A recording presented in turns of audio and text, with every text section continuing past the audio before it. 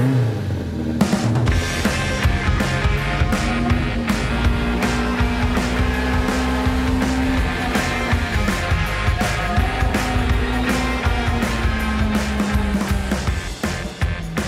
welcome to CarCast. I'm Matt, the moderator. DeAndre here with Bill Goldberg uh, in the garage, working on uh, working on the uh, the badass workbench.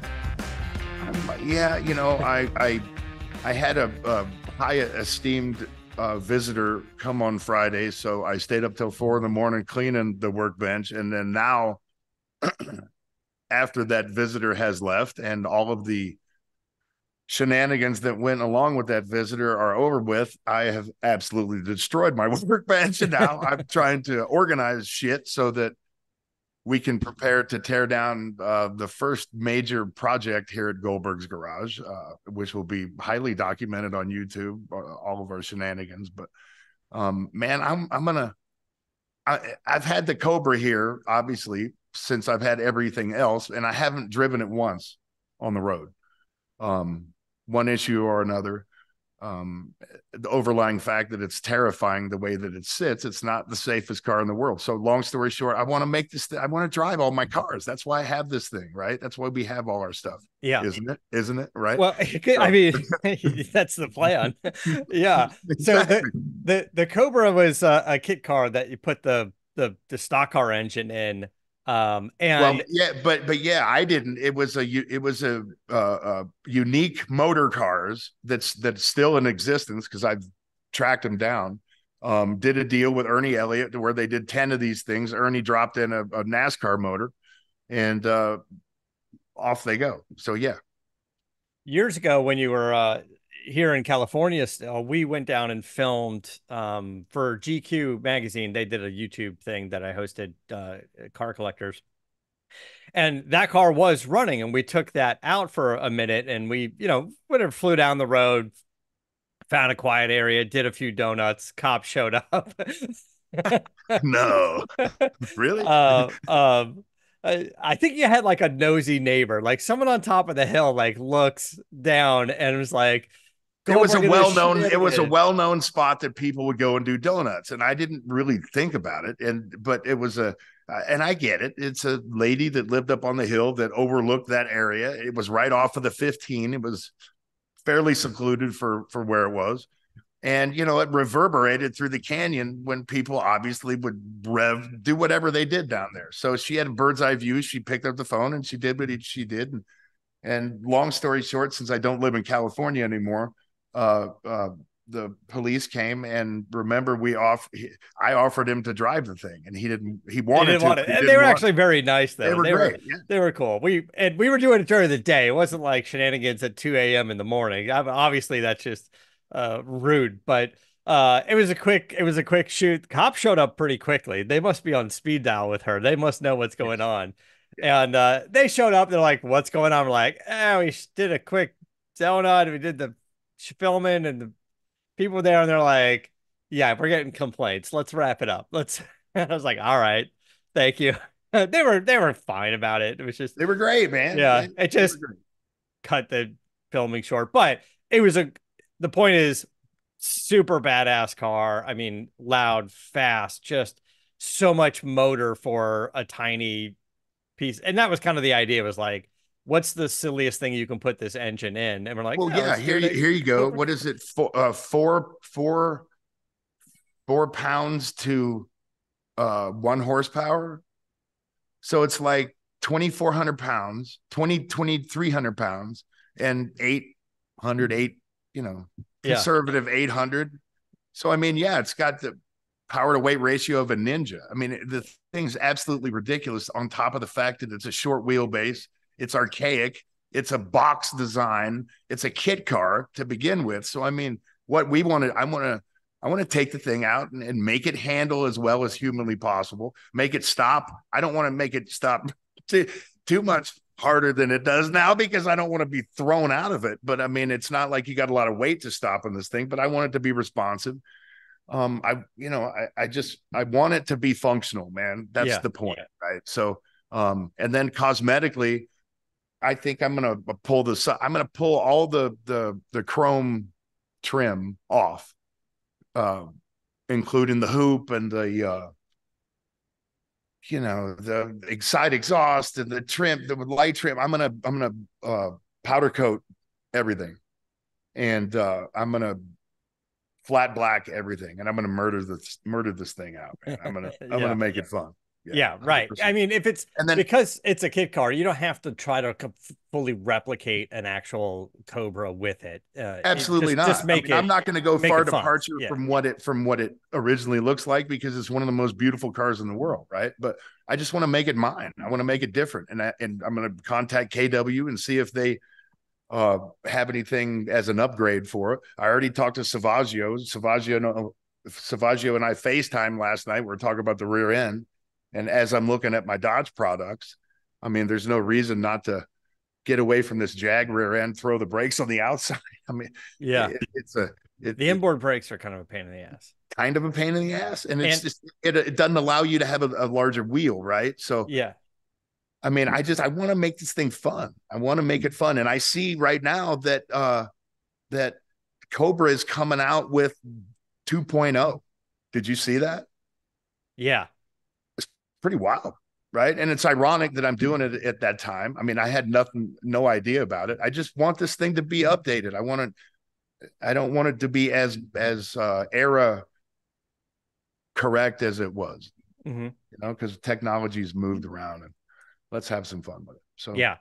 yeah i'm yeah, organizing cool all car. my tools so i can screw everything up and destroy this car. But it's going to be fun man. I can't wait for it. Um you were talking about uh talking about having a guest come over have filming. Let's let's update on that a little bit. So um, the the most important update is that our announcement of friday night at barrett jackson was incorrect. Um looks like saturday night's going to be the night and uh it is what it is, man. Those guys, I'm not going to reinvent the wheel. I'm not going to pass judgment on when I think the car should go. The car should go mm-hmm. whenever they think it should go because they know best. So um, let's have fun Saturday night. Throw me into the fray with everybody else and rock and roll. Right. So uh Barrett Jackson, Scottsdale coming up in January. You've got the two cars, the Demon and the Demon 170. We spoke about it before, matching color, matching VIN uh you guys uh you you got the car we saw it on instagram you finally got the car loaded in the transport brought it home.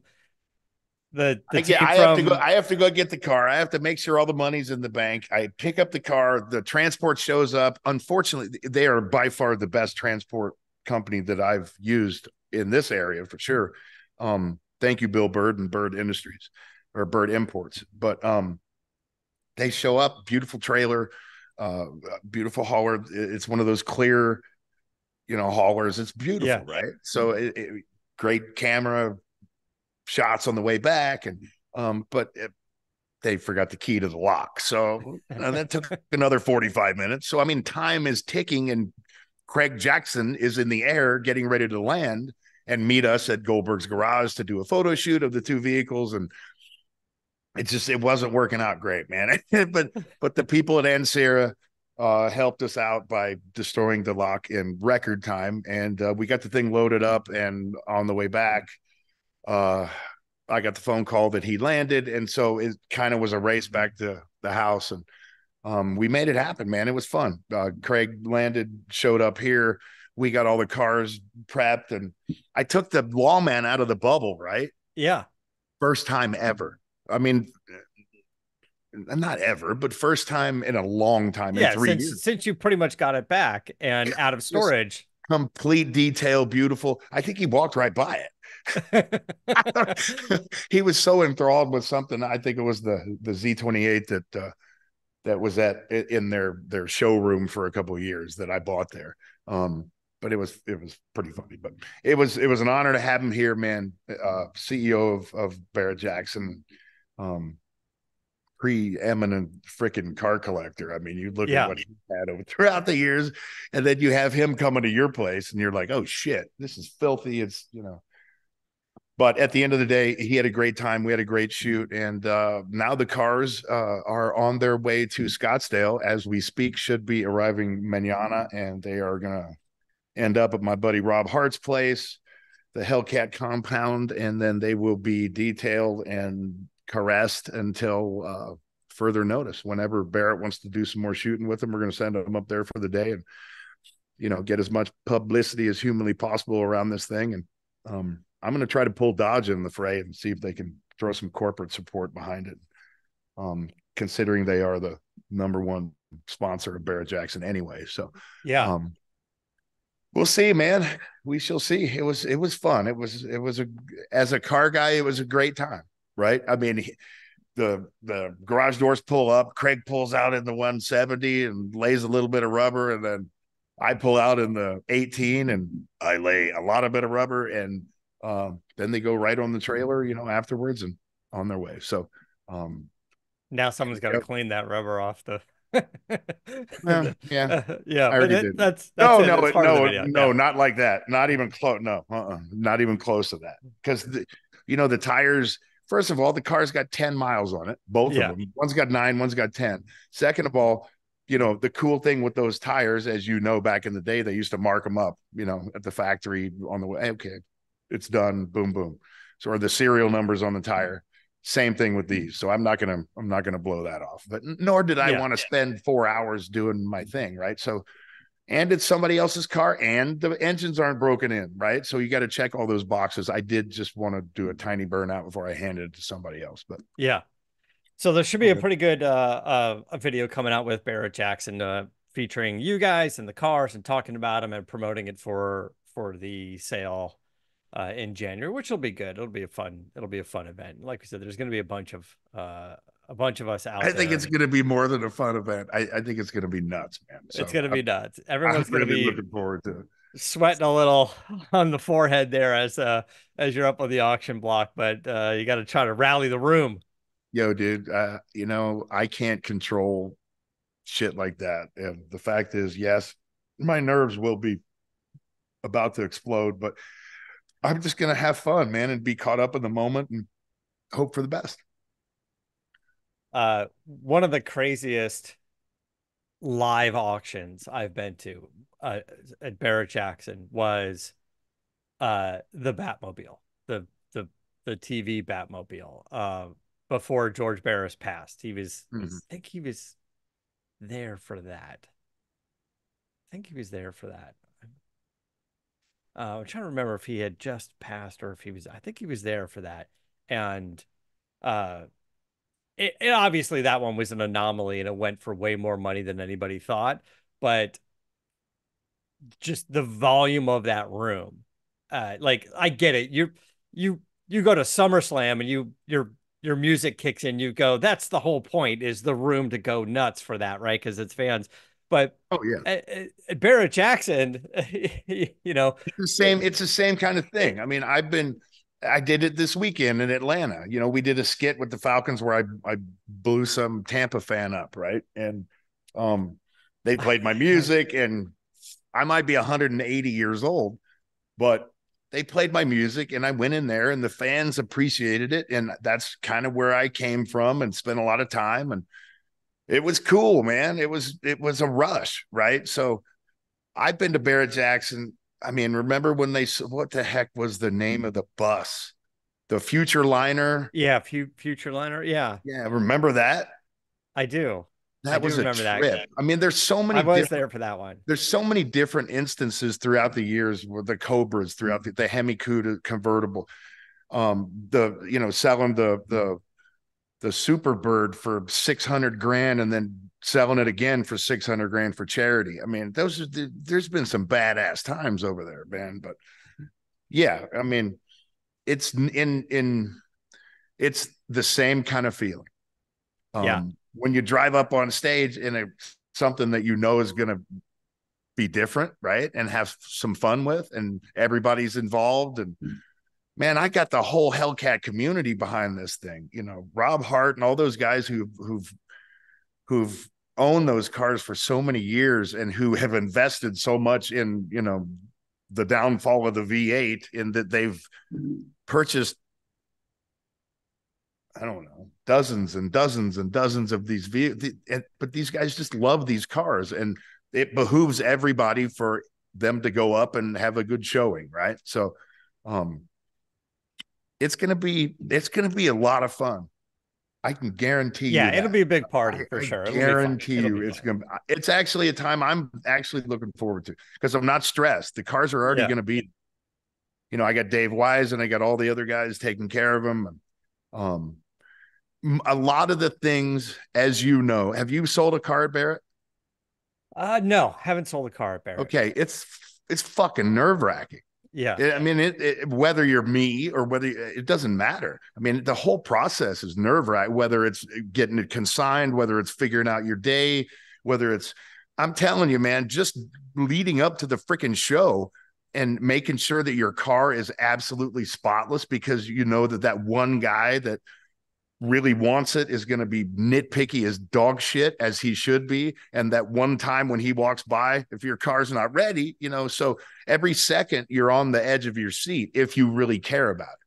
But and there've been times I've I don't know I've sold 10 cars there. There've been times when I've done it myself and there's been times when I've I've entrusted others to do it but when you entrust others to do it there's always that oh hmm, you know I, am not there myself I can't do it right? You know. Yeah. Yeah right. So gotta... but this time going into it man I feel I mean I'm blessed because everything worked out really well. So yeah. um, I don't have to stress going into it as much as I normally would every single time that I've sold a car there. I can tell you that right now, and it's over a month away. So, um, yeah. So every me, time, ask uh, me a week away, right? And then uh, I haven't really made like the travel plans yet, but I, am probably going to go out for for a few days. You're going to go out for a few days. You're going to yeah. I, I I'm going to Airbnb it with the family. Um, yeah. Yeah, yeah, it's gonna yeah. it's gonna be bitching, man. There's still a lot of places available. I mean, a lot of places. You know, stay near Kierland Commons. Uh, you're really close to the auction.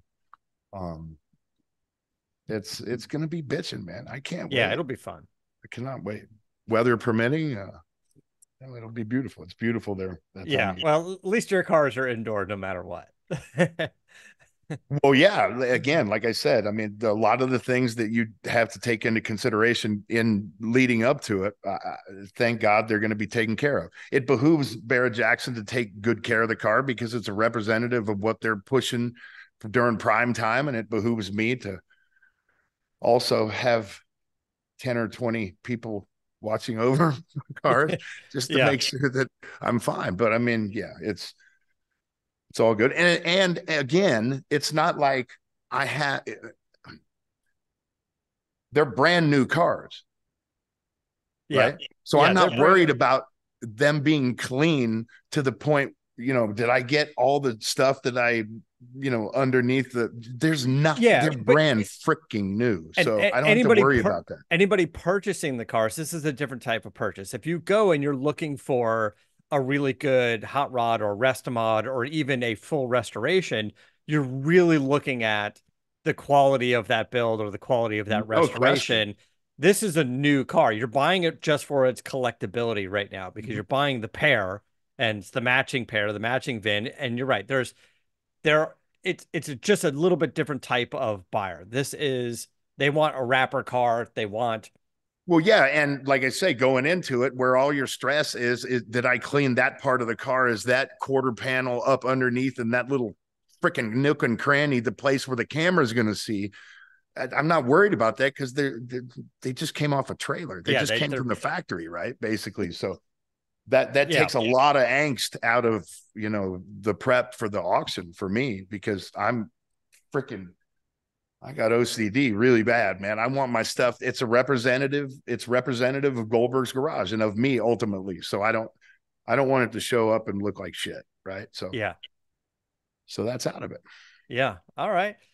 Um, what else has been going on? I, uh, I, the other night, um, Adam Carolla and I went to a screening of the movie Ferrari. I'm interested to hear your yeah. I, and um,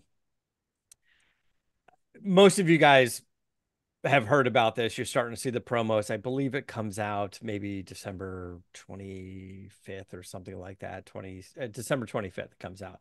So Ferrari feature film about Enzo Ferrari, uh, directed by Michael Mann. I like Michael Mann films. Heat and some of the films are so fantastic. Um, Adam Driver is Enzo Ferrari, and if you kind of understand the the story, uh, he's got a wife, Laura Ferrari, and he's got this girlfriend, mistress that he hooked up with and had a kid with, uh, Lina Lardi, played by Sh- Shailene Woodley. Um, now I bring this up because uh, Adam Driver had his first son with his wife Dino, and Dino passed away, and that's why the car was named Dino after him because he was a young man in his 20s working on the engine for uh, a new engine. And then he did a race car engine and then they made the production car in his name in his honor. Mm-hmm. but with the mistress he had a son piero ferrari. And piero ferrari is in our documentary the 24 hour war when we reached out to ferrari uh, again and again and again for like a year saying we're making this film. And i know you guys lose because it's it's it's the 24 hour it's ford versus ferrari at le mans. You go but it's an important part of history. And it was interesting enough that uh piero ferrari or someone on his team eventually after bugging them for a year they're like we get calls all the time. Everybody wants to do a documentary. Everybody wants to do a tv show youtube channel. Everybody wants to film it and he said but we saw your newman film and liked it and realized this was the real deal. And so he agreed to do it. That's how nice. we got Piero Ferrari. That's cool. Piero Ferrari's like vice chairman or former chairman of Ferrari. He's a billionaire now, owns, still owns like 10, 10.2% of Ferrari. Mm-hmm. Um, so it's kind of interesting because in this feature film, you see a young Piero Ferrari and you see kind of his interest in his dad and the company, where as a kid, he kind of like didn't acknowledge him publicly, mm-hmm. you know, and mostly because of the wife. So uh, that being said, um, Adam has interviewed Michael Mann several times about this film, and Michael Mann was telling him the story. He goes, I've been trying to get this film made for 20 years. Uh, uh, Robert De Niro was was attached to it at one point, and then Hugh Jackman was attached to it as Enzo Ferrari at one point, and now it's Adam Driver. And then we went, we saw the movie, um, and then we went out to dinner, and we both kind of looked at each other. And we're like, I feel like after 20 years of trying to get this done, it should have been a little better. Uh, and I, I wish I had happier news, but it's a good movie. But it's not better than Rush. It's not better than Ford v Ferrari. Uh, and we were trying to like we were sitting there over dinner trying to pinpoint what it was, and it, it's just an interesting thing. So, uh, it's it's definitely about Enzo Ferrari. Uh, all the ancillary characters that were in there, the racing car drivers and names that you know, um some that you may know some of you may not know but the racing drivers the mechanics the you know the the accountants the people that sort of came together to make this had you were not invested in any of those characters at all. When you watch ford v ferrari you're invested in every character. It, it's like all of a sudden the guy who plays Henry Ford is on screen, and then he's in the car and he's doing the ride along, and then you're like, that is a breakout character. What a great, funny scene! Like his character, that actor did so good. Mm-hmm. And uh, oh, what's his name? Jon Bernthal. You can uh, say did, that about all the characters in that, whether yeah, the, the part was small or big. Everyone had an important scene that that defined that character. I believe. Yes, and memorable because you get there and Absolutely. go, "Oh, I remember Jon playing Lee Iacocca, and I remember the guy playing Beebe, and I remember the guy you know, like." Uh, about the mechanic slamming the door and locking, you know, uh, I can't remember the guys, the the the CEO or the the tyrant, uh, locking him in the the. Yes, yes, in the Ford, office, in the office. Yeah, while Ford went out for the drive with yeah with Shelby so it it didn't have a lot of you didn't get too invested into the other characters, which was a little bad. And then also, it's a story about uh, uh not not a ruthless but or sociopath, but just sort of this hard nosed Ferrari CEO. And and yes, they sort of emphasize the fact that he was like, it's all about the car. It's not really about the driver. And you're in it to win it. And you're, you're risking your life. And if you die, I'll get another driver. Mhm. It sounds harsh, but that was sort of the reality of it. You're and that kind of comes across in the film. But because of that, Ferrari's not very much he's not really a likable character. And and I'm not saying it isn't true to the story, but Ford v Ferrari was a great film because they they put a little bit of a Hollywood into it and made it a great film and invested in the characters. And then when you watch our documentary, The 24 Hour War, you get to see some more of the facts, how things panned out. And I think those two films together are fantastic. Watch Mhm. Ford v Ferrari and then watch the doc and go, the super entertaining Hollywood version and then sort of the facts version. You, you can kind of fill in the blanks and Yeah. you really get the nice story. So this Enzo Ferrari not super likable, the wife angry all the time, uh the the mistress Cass Shailene Woodley, she's great. Uh, nothing important about that character in the film. So there was nobody to root for. There was no hero. There was no feel good moment. And then like there was tragedy. So they did the the Mille Miglia was the race, thousand mile race, and and because they needed to put some drama. But at the beginning of the movie, when they were like, "This is the race, this is the race, everything, we're going to save our company. We're in financial ruins if we don't win this race," and then we're like, "Eh." Why'd they pick that race? And I get that that's the story, but it wasn't. It. The other thing is, is that race is a thousand miles, and there's no fans, right? There's like it's kind of like a Baja race. Like every once in a while, there's a strip of road with Yeah.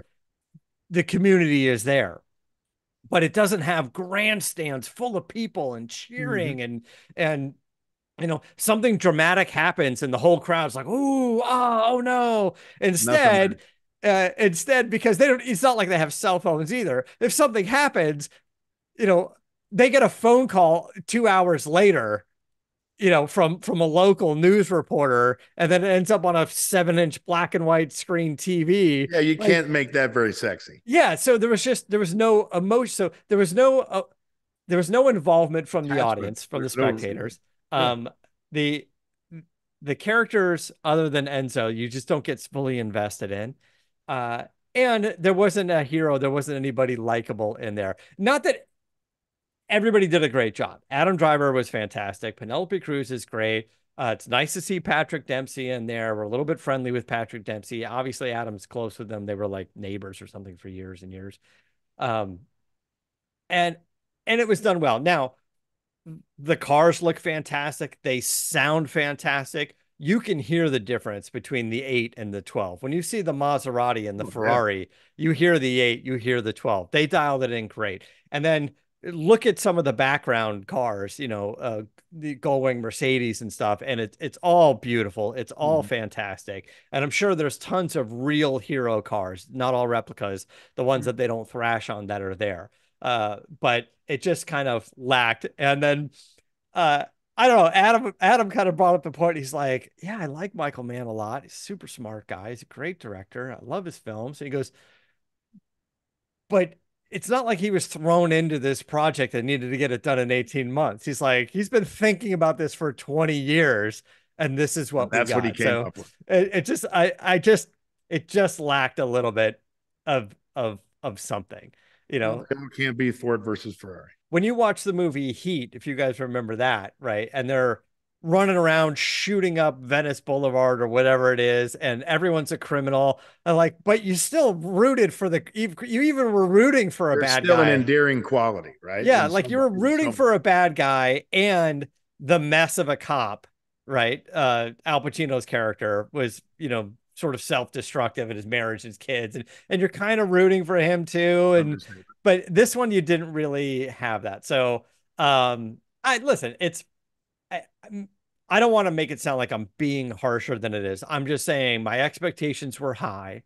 I was a They little weren't- bit let down. It's a great movie. You should see it, but in the order of, you know, Ferrari, Rush, and Ford v Ferrari, for example, uh this would be number three on the list. I would even go so far to say if you go, you see this movie, you're going to say, yeah, I get it. It's a good story, pretty good movie. But next year, when this thing is playing on TV 15 times, uh, you know, Rush and Ford v Ferrari, it can pop up anytime in the movie. You can be 30 minutes in, an hour in, and you're like, eh, I'll just watch the end of this movie. I've seen it a bunch. And I feel the same way about Gone in 60 Still Seconds. Still, exactly. They're still entertaining no matter where you pick them up from.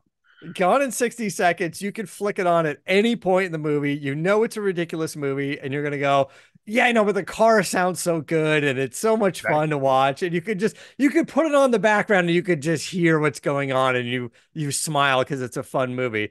I don't think you're gonna watch this movie again and again and again in the background. You're gonna be like, oh, they're not to the part where they do the race and the, you know, Well, I'll be honest with you. After Yeah. listening to you, I don't think I'm not. I'm going to watch it the first time. So I mean, listen, it's a great story and it's worth watching.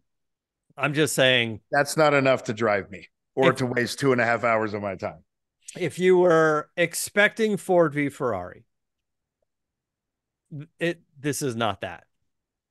Thank you for saving me some time. uh, wait, listen, when it comes on TV or Netflix or whatever, go ahead. If and I'm on a it. plane Yeah. and I'm going to, you know, the middle of the Caribbean, and I, yeah, what, and yeah, maybe, yeah, knows? yes, you, never- know what? Uh, by all means, I'd still if- watch Ford versus Ferrari first. then even though you've I seen get- it, yeah. if I needed to go to sleep, I might put that. I don't know. You didn't set it up very well. So I, um, I listen. I I'm just trying to be sort of a be a, a film geek about it. Uh, but But a car, but the car guy, you be a car guy about it too, right? So you know wh- what appeals to you and what doesn't. so w- what I'm saying is is uh it's a great story and the cars are fantastic. If this was a documentary, this is a great documentary. But as It's a, a blockbuster feature film, Yeah. it it it lacked a little bit of the Hollywood. And it's weird because a lot of people who saw Ford v Ferrari and go, I love the movie, but it had a little too much Hollywood creativity. I was like, I know, because it's a feature film and it's made to to make money, right? Like we made a documentary. Go see the documentary. But this one is kind of in between the two, right? It's not the most entertaining Hollywood film, and it's probably got a little bit of creative freedom to not make it the full documentary, but it's a great story. And you do get an insight into how Ferrari was built and how they sort of struggled. And and yes, they glimpsed on Ferrari maybe selling to Ford or doing the deal with Fiat and because they needed money and he was burning money through the racing program and not selling enough cars. They touched on it. They, they didn't even really create enough drama with it, but they they touched on it. Uh, the wife is the one going, "You're going to be out of business. You're going to be out of business. You're going to be out of business." And he was like, "Kind of not my problem." kind of like other people in the company, it's their problem, not mine. I'm here to race and win. So, uh, and there's probably some truth to to that to that attitude. I don't know how much he stressed over insolvency with the company, but um, uh, It wouldn't seem to be very much. yeah. Um. Anyway, it's it's good. There, there's a lot worse shit you can go see in the movie theater and uh than this, and a lot less interesting stories than this that are out there. But um, that's a that's my take on uh that's my take on Ferrari on the feature film. Um.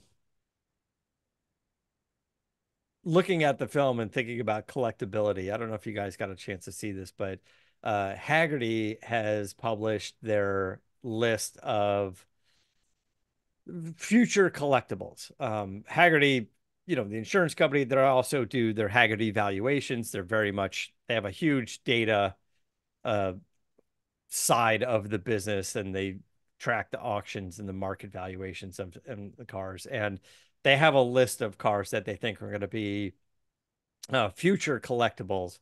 Um, yeah, it's interesting. it's Yeah, interesting. what do you? What do you? You know, I don't. eh, I mean, And what they not necessarily collectible, they're saying these cars are going to move in value uh, over the course of several years. Um, the Lamborghini Countach, the 25th anniversary edition, the Countaches are all moving, and the 25th anniversary edition is the one with the crazy like uh like cheese grater vents. Um, so Pagani, I believe, was the designer at a Lamborghini, and this was the car he did sort of the finale of the Countach. Mhm. Uh, I believe it was uh, uh, Horacio Pagani designed um, on this before he moved on and did his thing. I, I of course, Countach is going to go up in value. Um, they have a 1946 to 1950 Chrysler Town and Country. Um, I, I, I don't, I don't disagree with that. I think, I think that's fine on the list. Uh, the 2008 to 2013 BMW M3. You look at the E30s, you look at the E36, you look at what's going on with the E46. Like, I, I, I get this. The BMW is getting there. Um, the the 97 and 99 Mitsubishi Pajero Evolution, if I if I got that right, if I said that right. Uh um I it's kind of this little SUV with the crazy flares and the if you think of the Lamborghini SUV, uh Yeah. The old the- one. yeah, the old one was the the LM 002 or whatever it is. This is sort of the the tiny baby knockoff, you know, version Sounds of hideous. it. Um, I don't know. Maybe listen, is it going to go up in value? Maybe, maybe because the value is so low. But uh, um, I'm not saying it's going to be a four million dollar car. You know, like if you go from zero to ten, that's a huge jump, jump, right? Because you're at zero. So anyway, Well, yeah. I- um, let's just say you you wouldn't I'm- see this in my garage. I mean, I can agree with a couple on this list, but I can definitely not Yeah. agree Ferrari FF, of course, it's going to go up. Anything Ferrari. Um, Yeah. Jaguar XKR, the 2000 to 2005 XKR. I'm thinking I I wouldn't say that vehicle D is no. I mean, that's my opinion. Uh, I mean, now, there was nothing special originally with that vehicle that would make it stand. I mean, what's why is it collectible? What did- what did they say about it? I, I, you know, I, and I'm not sure why they're, I think it's just starting to move in value because it, it has a little bit of that design that feels like Z8, uh, BMW Z8. Now, I would go so far as to say XKRS. If you're going to get the, that car, you want to get the rarest version of it. Absolutely.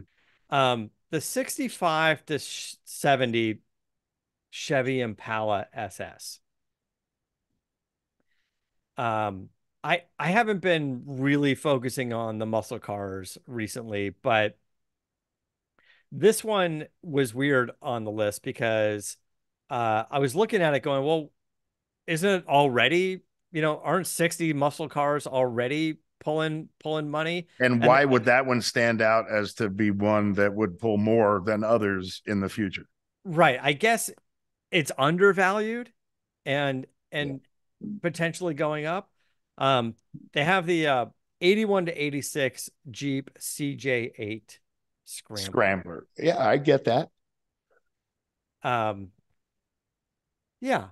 I I mean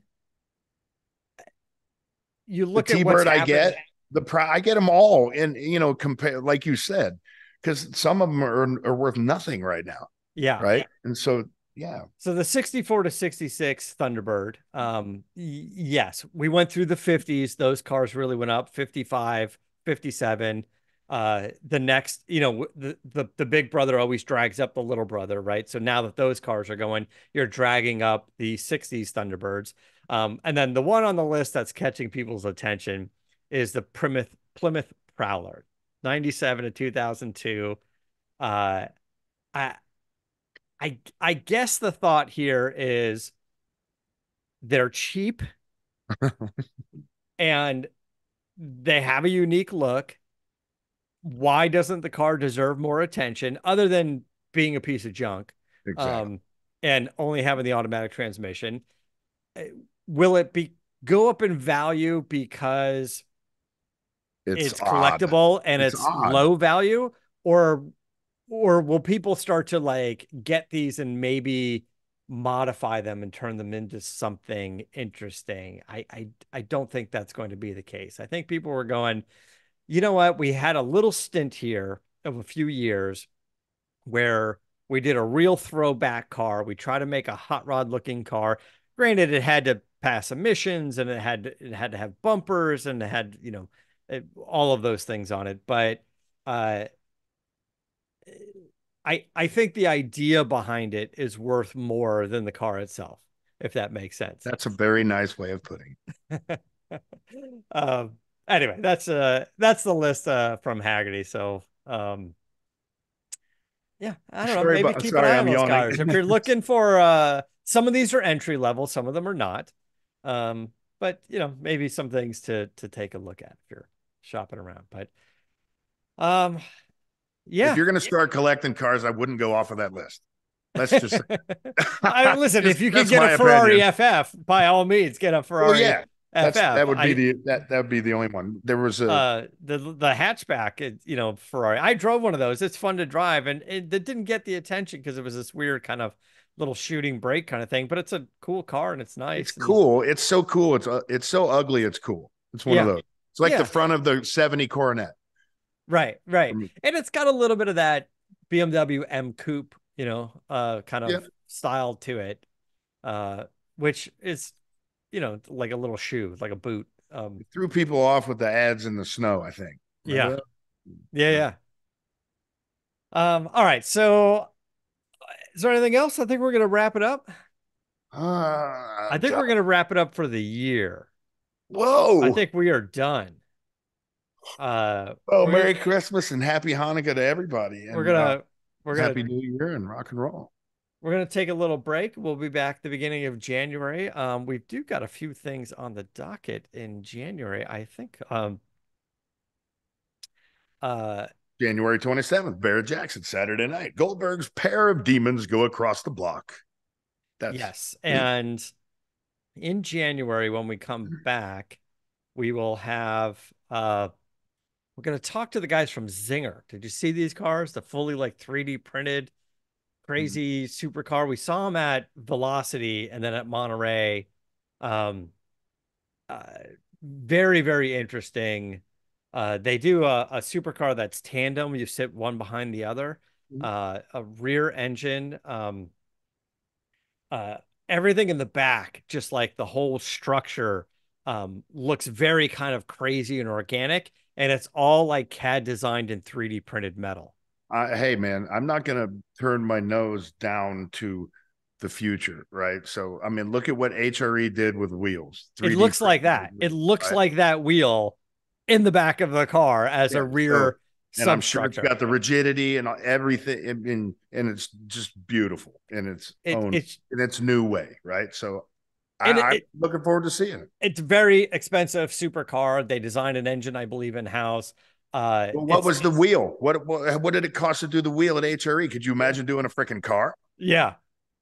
Yeah. So uh it, it, maybe we'll get into a little bit about sort of the the the design and the engineering behind something like this. We're gonna talk to those guys. So uh we're gonna uh something to look forward to in January. So guys, thanks so much. We appreciate you listening to the show uh throughout the year and over the years. We appreciate uh all the support for Goldberg's new YouTube channel and the Goldberg's Garage swag and for uh Bravago and and all of that great stuff. So And uh, everything that CarCast stands for. and uh, putting a plan together to to sort of reboot, if you will, CarCast, make it bigger, make it better, um, and do a lot more with it. So uh, looking forward to that. Um, yeah, happy New Year. Yeah, Merry happy Christmas, Year, happy man. I'll speak, I'll speak to you soon, and uh, everybody have a prosperous holiday and rock and roll. And we're, we're gonna have some good content coming out so that everyone, while they're uh, sitting by the fire, uh, watching football and opening presents, uh, can watch some car stuff. So tune in. Thanks, guys. Until next time, keep the air in the spare and the bag in the wheel. And gas in the gas tank. For the latest updates and call in times, follow the show on Facebook, Twitter, and Instagram at CarCast Show. If you'd like to write in, fill out the form on CarCastShow.com. And don't forget to give us a nice rating on iTunes. CarCast is a Carolla digital production and is produced by Chris Loxamana. For more information, visit CarCastShow.com.